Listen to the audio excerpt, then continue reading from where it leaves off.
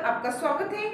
मैं प्रिया, आपके साथ। जेल से बाहर निकलने के बाद एक बार फिर से हेमंत सोरेन झारखंड के मुख्यमंत्री बनेंगे।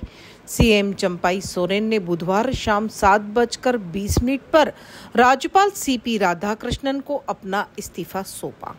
इस्तीफे के बाद हेमंत सोरेन ने सरकार बनाने का दावा पेश किया। चंपाई सिर्फ़ एक सौ बावन दिन झारखंड के सीएम रहे। 2 फरवरी 2024 को वे सीएम बने थे। चंपाई सोरेन ने कहा कि गठबंधन का जो फैसला था, उसी के अनुसार मैंने काम किया। हेमंत सोरेन ने कहा कि चंपाई जी ने अपनी बात कह दी है। ये गठबंधन का फैसला है। इस दौरान उन्होंने महागठबंधन विधायक दल के विधायकों का समर्थन पत्र राज्यपाल को सौंपा। अब राज्यपाल कभी भी हेमंत सोरेन को शपथ ग्रहण के लिए आमंत्रित कर सकते हैं। इससे पहले रांची में सीएम हाउस में विधायक दल की बैठक हुई। हेमंत सोरेन को विधायक दल का नेता चुना गया। सभी विधायकों को सीएम हाउस में ही रहने को कहा गया है इसी के साथ बने रहिए राजनामा टीवी के साथ धन्यवाद।